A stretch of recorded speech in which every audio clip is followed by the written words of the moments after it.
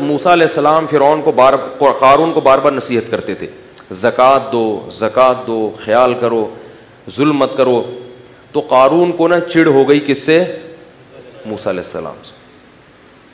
इस ज़माने में भी बाज़ लोगों को ओलमा से चिड़ हो जाती है। जो सेकुलर तबका है ना, उनको बहुत ज़्यादा चिड़ होती है से। क्योंकि उनकी राह में सबसे बड़ी रुकावट कौन होते हैं? होते हैं। तो वो बदनामी का कोई मौका हाथ से जाने नहीं देते। तो उसको चिड़ हो गई। उस कमबख्त ने क्या किया? बदबख्त ने एक औरत को ख़रीदा, जवान औरत। और उसको ठीक ठाक पैसे की लालच दी कि मैं तुझे बहुत नवाज़ दूँगा करोड़ों रुपए जो भी उस ज़माने के होंगे। तूने सिर्फ़ ये करना है कि माज अल्लाह नकल कुफर कुफर नबाशत, तूने हज़रत मूसा पे जिना की तोहमत लगा दी, बदकारी की। औरत जब ये किसी पर फोहश, तोहमत लगाती है ना तो लोग फ़ौरन यकीन कहते हैं तो औरत खुद कह रही है। याद रखो, औरत की तोहमत पर यकीन करना जायज़।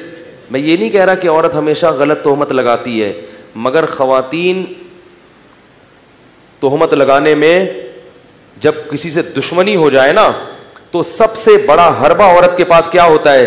किसी पर फोहश तोहमत कि इससे मेरे से ताल्लुकात हैं, इसके नाजायज़ ताल्लुकात हैं और इसने मेरे से यूँ किया और ऐसे किया। तो लोग फ़ौरन यकीन कर लेते हैं, यकीन ना भी करें तो बहरहाल मखमसे में कहते हैं, कुछ चक्कुश तो है। क्या कहते हैं?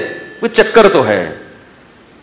इसी वजह से कुरान ने जहाँ औरतों की बैत का तस्करा किया, वहाँ यह भी कहा कि नबी से कि जब औरतों को बैत करो तो इनसे इस पर हल्फ लो कि हम किसी पर बुरी तोहमत बोलो भाई। नहीं लगाएँगे।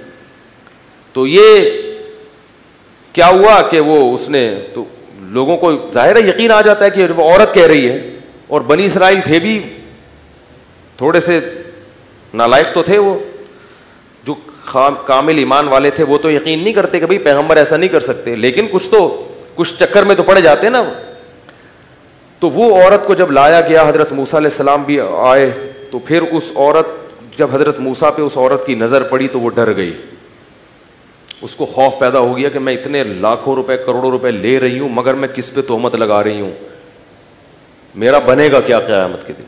अल्लाह ने उसके दिल में खौफ पैदा कर दिया और वो तोहमत लगाने से बाज आ गई। और उसने बता दिया कि मुझे कारून ने पैसे दिए थे झूठी तोहमत लगाने की हज़रत मूसा को गज़ब आया उसी वक्त बदुआ की कारून के लिए। कि अल्लाह तो इसको क्या कर दे? हलाक। वहीं कारून अपने ख़जानों समेत ज़मीन में धसना शुरू हो गई। और हज़रत मूसा को पुकारता रहा कि अः मूसा, माफ़ कर दे, माफ़ कर दे, माफ़ कर दे। मूसा सलाम ने कहा, नहीं।